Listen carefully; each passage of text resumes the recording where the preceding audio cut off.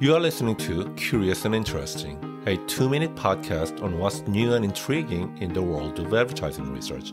I am Dr. Sukki Yoon, editor of the Journal of Current Issues and Research in Advertising.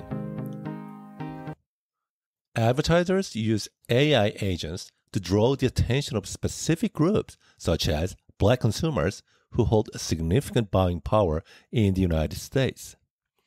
AI agents try to establish ethnic affinity to persuade the black community to feel affiliated with brands.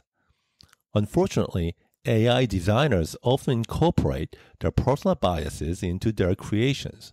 As a result, movements such as Black Lives Matter have been spotlighting significant concerns that ethnic targeting tactics may unintentionally nurture systematic racism.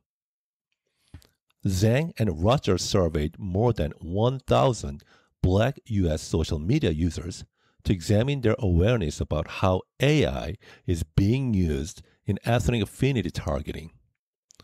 The survey showed that individuals have varying levels of precision knowledge about ethnic affinity approaches.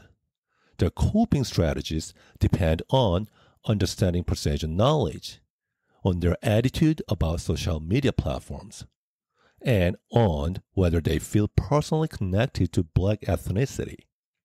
The findings show that we need transparent data practices. We also need a broader range of perspectives to guide how AI is used in establishing affinity with ethnic groups.